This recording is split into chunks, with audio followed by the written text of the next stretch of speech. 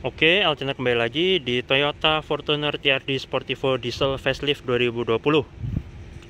Ini unitnya udah ada di Auto 2000 Kertajaya ya. Untuk harga nomor dan nomor telepon kontak marketing bisa dicek di kolom description. Untuk mesin, di sini dia menggunakan mesin 2400 cc, 149,6 PS dengan torsi 40,8 kgm sudah dapat peredam juga. Tapi pembukaannya belum hidrolik ya padahal ini berat. Fascia depannya seperti ini ada ciri khasnya palang merah begitu.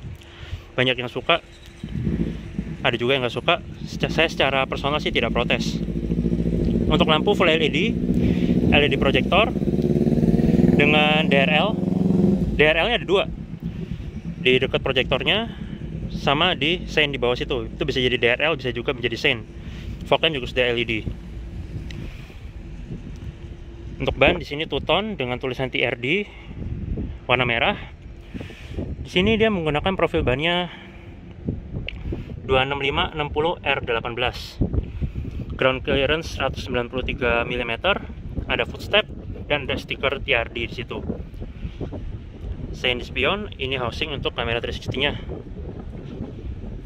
talang air beserta roof rail. Untuk masuk ada akses smart key model tekan. Layout trimnya. Material di sini plastik, yang di sini soft touch. Yang di sini juga soft touch dengan jahitan-jahitan. Di sini black piano. Ini sudah plastik sama sampai bawahnya plastik semua.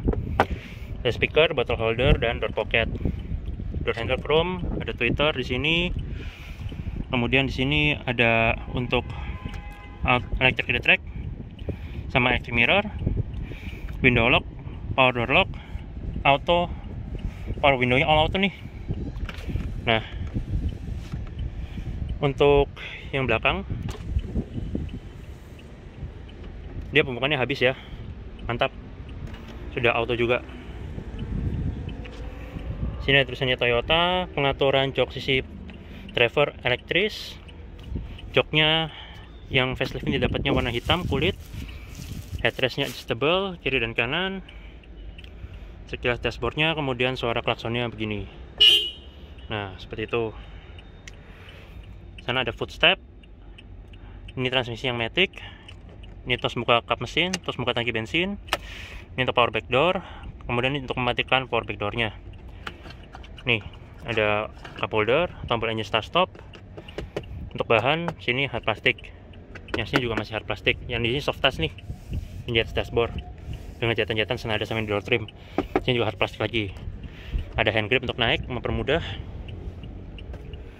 Karpet ada bordiran Fortuner coba masuk. Di sini ada TFT speedometer yang di tengahnya layar kiri kanan masih analog biasa. Untuk pengaturannya dari tombol yang di sini. Nah ini informasi berkendara ada di sini bisa dicek.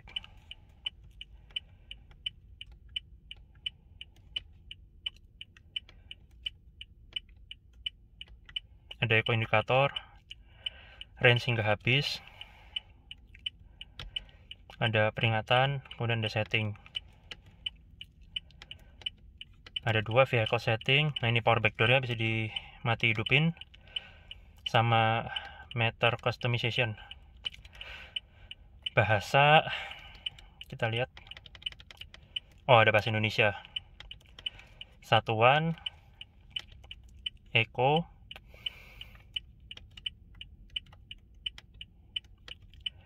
switch setting drive info 1 drive info 2 sama ini untuk factory reset.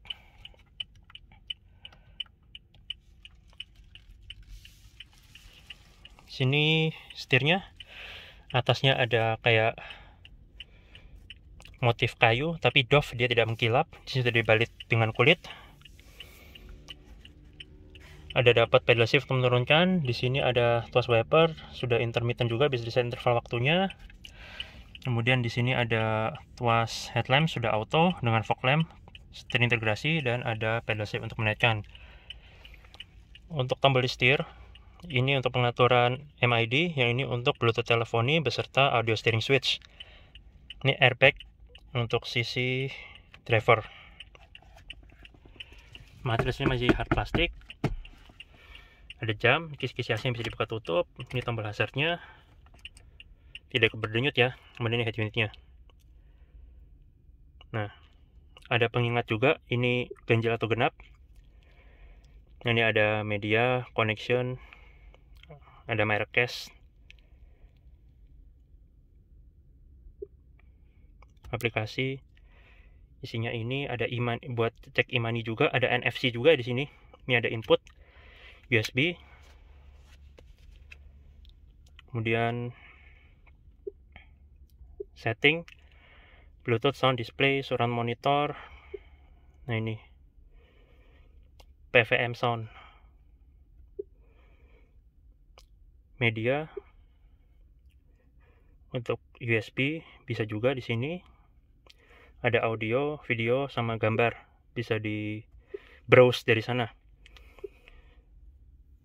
ini udah nggak bisa digeser-geser lagi ya. Oh bisa di drag and drop juga.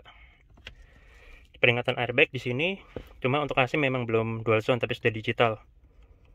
Putarannya begini nggak berisik. Nah sini ada air circulation AC front defogger udah dapat dengan tombol terpisah rear defogger juga dapat ini arah semburannya lengkap ya. Nah seperti itu. Untuk mematikan. Bunyi tombolnya juga nggak berisik power outlet. Ini tempat penyimpanan. Dan di sini ada wireless charger yang baru. Motif wood panelnya juga sampai sini. Dengan dua buka folder di bawahnya. Ini kuncinya model seperti ini. Bisa buka power back door. Dan ada siluet fortunernya. Bawahnya belum dilapis bahan apa-apa. Ini transmisinya. Ada mode manualnya juga. Cuma ini kurang afdol ya harusnya menambah itu ke bawah. Ini menambahnya menambahnya ke atas. Ada mode berkendara eco sama power ada vehicle stability control park brake mechanical dibalut kulit dengan ujung chrome. Di sini dapatnya kulit juga empuk dan di bawahnya dilapis bahan jenis gludru tapi polos. Motif joknya. Seat belt dengan head adjuster hand grip model retract sun visor sisi penumpang depan lengkap dengan vanity mirror dan lampu. Hand grip juga tersedia di sana. Ada twitter ini bahannya padahal plastik di sini soft touch. Soft touch tipis. Ini tulisannya Fortuner tombol untuk membuka ini. Sekaligus ini chiller box. Nah ini bisa dibuka tutup di sini. Material sini plastik keras tapi tebal ya bisa dikunci juga. Dan pembukaan juga sudah soft opening. Sini untuk lampu. Tempat kacamata dilapis bahan kain dan ini spionnya. Sudah auto dimming elektrokromatik. Sun visor CC driver juga lengkap dengan sun visor dan lampu. Beserta card holder. Yang sisi penumpang depan juga ada card holdernya ya dan sisi driver juga masih dapat hand grip model retract.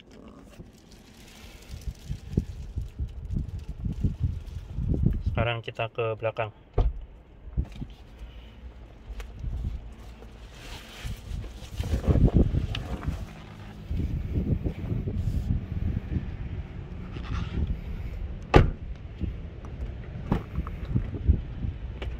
Di belakang ini layout door trimnya.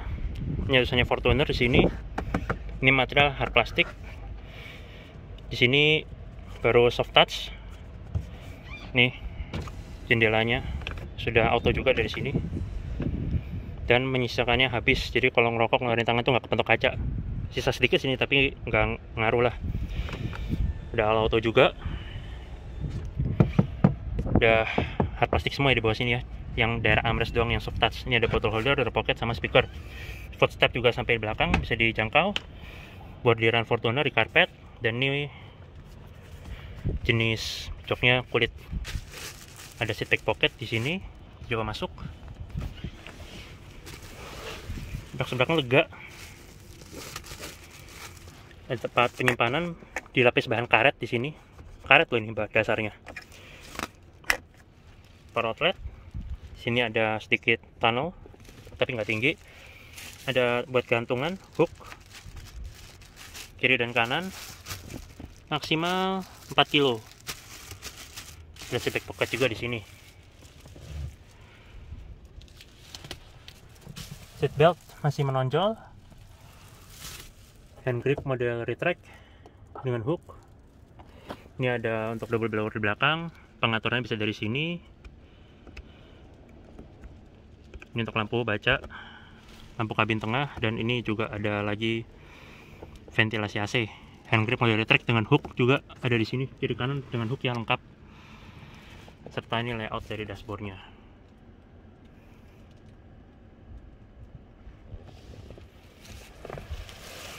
Headrest tiga-tiganya adjustable.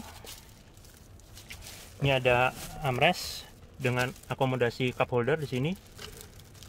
Dua ya tapi ini masih plastikin belum bisa dibuka. Dan jok juga sudah isofix. Nah tuh. untuk ke belakang. Pantas tumble di sini terus ada ini ada top tether dari isofix juga. Kita coba masuk. Di belakang di sini ada tempat penyimpanan. Di bawahnya tidak dilapis apa-apa plastik biasa aja ini pelipatannya bisa 50-50 untuk memplos bagasi. Seatbelt juga tiga titik masih menonjol.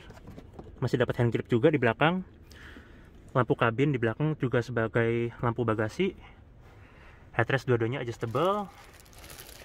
Yang di sana lebih lengkap lagi lebih gede tempat penyimpanannya. Ada yang datar sama ada yang mendalam untuk cup holder. Sana juga ada klip untuk menjepit ini seatbelt hand grip tetap dapat di sisi kiri dan saya baris ketiga tetap dapat AC mantap. Ini housing seatbelt penumpang tengah baris kedua. Jendelanya yang bisa dibilang cukup besar.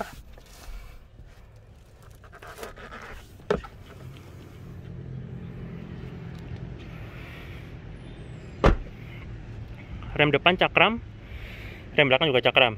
Dan suspensi depan itu double wishbone ya yang belakang sini 4 link. Serta ini penampilannya secara keseluruhan dari belakang. Roof rail antena shark fin upper spoiler hemo stop lamp rear defogger rear wiper serta stop lampnya LED bar. Di belakang ada tulisannya TRD Sportivo tapi di blackout ya jadi lebih gak norak. Serta ciri khasnya Fortuner window line chrome yang sampai belakang sini di bawah ada reflektor ada sensor parkir. Ada 5 di belakang sini. Tulisannya juga di blackout ya chrome-nya ini Fortunernya. Di sini ada untuk kamera mundurnya. Ini juga udah power tailgate.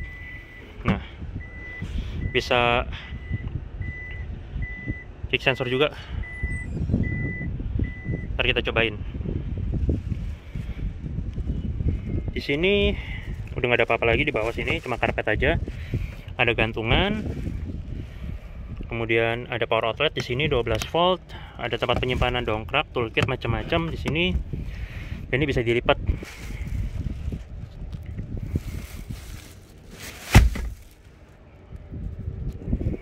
Kemudian ditarik. Nah gitu. Ini tinggal kakinya dilipat kemudian dikaitkan ke sini kayak gitu.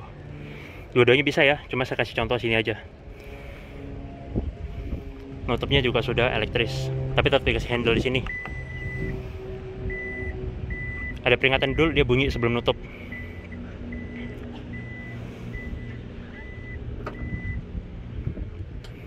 Sini tangki bahan bakar 80 liter kapasitas. Diesel ya. Belum ada katupnya bisa dibuat naruh di sini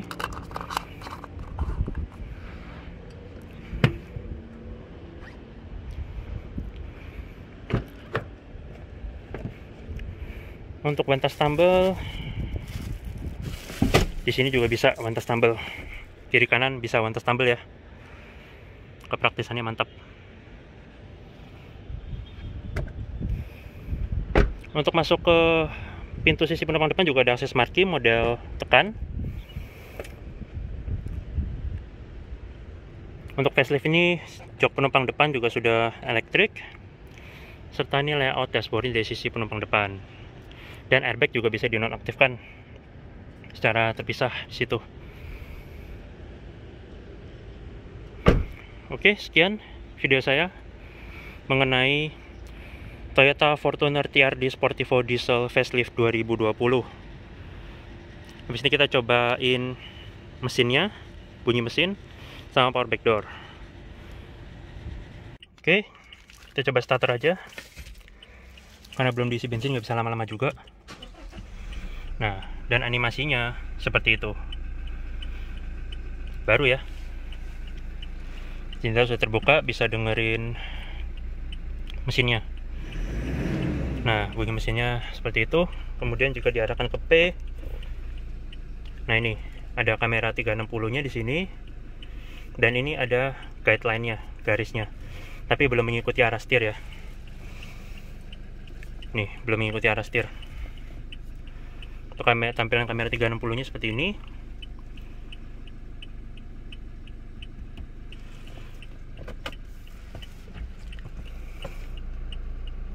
Sekarang kita ke belakang.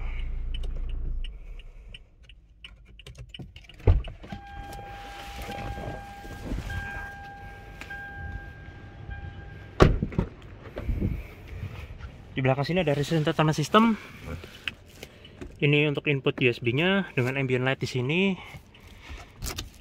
Nah ini.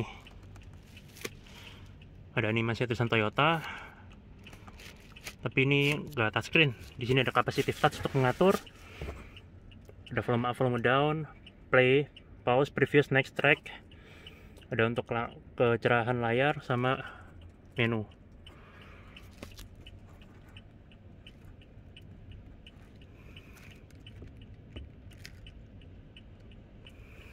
oh ini. Oh user interface nya sama kayak yang depan.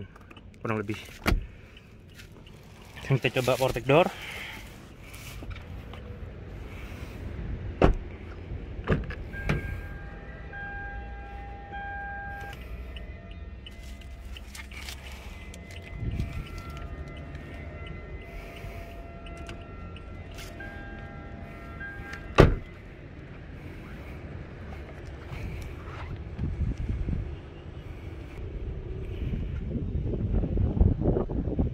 ini dicoba berkali-kali. Belum mau ya. Karena mungkin ini belum di PDI gimana? Karena unitnya benar-benar baru banget baru datang baru cuci juga. Kita coba aja buka pakai ini. Nah tuh.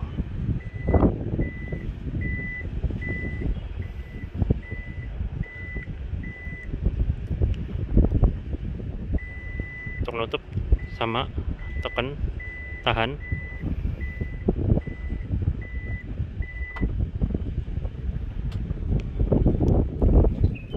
tambahan juga. Ini jok belakangnya sliding dengan handle di sini. Itu mengoperasikan. Lalu spion juga auto folding. Nah tuh. Cuma kalau ngebukanya bukan waktu kunci dibuka tapi waktu ditekan tombol engine start stopnya. Nah seperti itu lalu untuk Android Auto juga sudah ada di mobil ini.